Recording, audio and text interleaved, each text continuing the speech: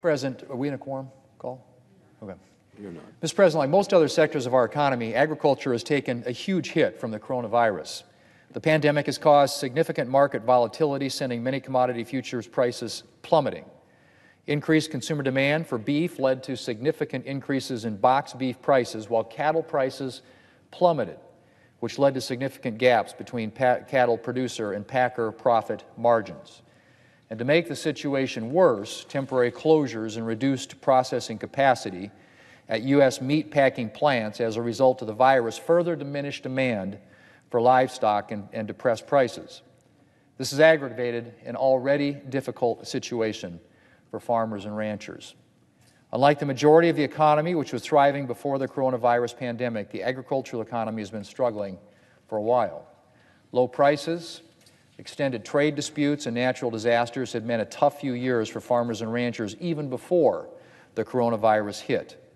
Now things are even more challenging. Agriculture is the lifeblood, Mr. President, of my state of South Dakota, so supporting farmers and ranchers during the crisis has been one of my top priorities. I fought to get agriculture relief money included in the Coronavirus Aid, Relief, and Economic Security Act, or the CARES Act, which was signed into law in late March. The final bill included $14 billion to replenish the Commodity Credit Corporation, to allow the Department of Agriculture to provide income and price support for farmers and ranchers, plus an additional $9.5 billion in emergency support for agriculture producers affected by the pandemic. Days after the bill passed, I led a bipartisan group of senators and representatives in a letter to Secretary of Agriculture Sonny Perdue, urging him to use a portion of the funds to provide support for hard hit cattle producers.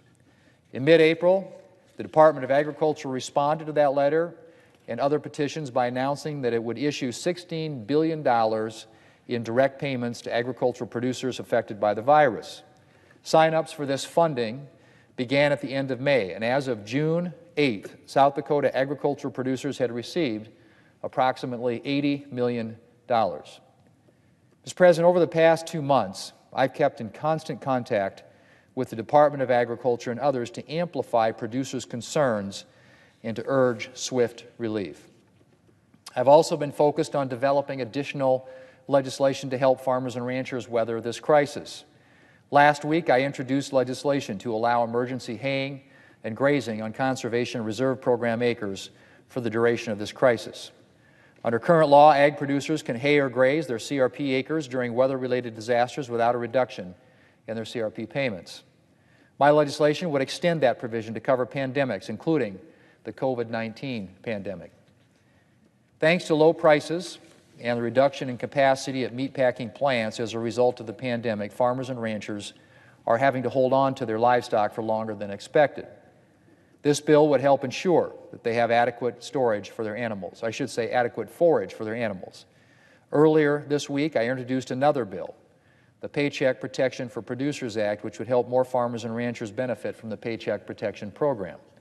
The coronavirus relief legislation that we passed in late March established the Paycheck Protection Program, which provides forgivable loans to small businesses to help them keep their employees on their payroll during this crisis. Self employed Americans, which describes many farmers and ranchers, are eligible for these loans. But in practice, the program's guidelines have excluded a lot of agricultural producers. Low commodity prices and a challenging planting season meant that many farmers and ranchers had a negative income in 2019. And right now, the program's guidelines exclude farmers or ranchers without employees with a negative net income for last year. So, Mr. President, my legislation would allow more farmers to access the Paycheck Protection Program by allowing them to use their 2019 gross income instead of their 2019 net income when applying for a loan. I'm hoping to get both of these bills through Congress in the near future. Mr. President, in addition to direct relief. Another thing that we can do to support our nation's agricultural producers is to support the ethanol industry. Ethanol and biodiesel producers buy up a significant amount of American corn and soybean oil. But decreased demand for fuel as a result of the coronavirus has significantly diminished this crucial market for our farmers. And that's why, in addition to direct relief measures for farmers and ranchers, I've also focused on what we can do to support the ethanol industry. American Ethanol has stepped up to help during the coronavirus crisis by providing ethanol or, or, or alcohol for hand sanitizer.